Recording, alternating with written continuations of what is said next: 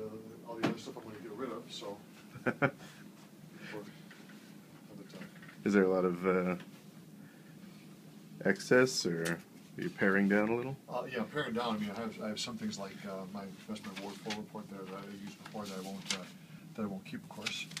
But um, other than that, it's, it's these are stamps files I've had for a while. So Sure, just the yeah, the doing business. that's right. Doing business. All right. So it's not too far a walk, I guess. No, it's pretty pretty simple.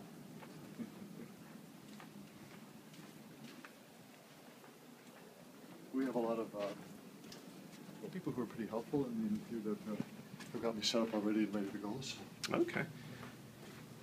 And uh, I know there's been some stories from uh, you know past American elections with things maybe uh, being left out of order. You didn't have uh, you're not Oh. inheriting a, a wreck from Pat, I assume. Oh no, we, we've talked quite a bit about um, issues, files, and it's all in order. There's no no issues. No.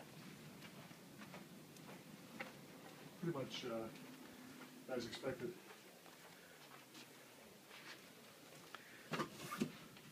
So this is uh, this is it. Bordering on barren at the moment, Pretty I much.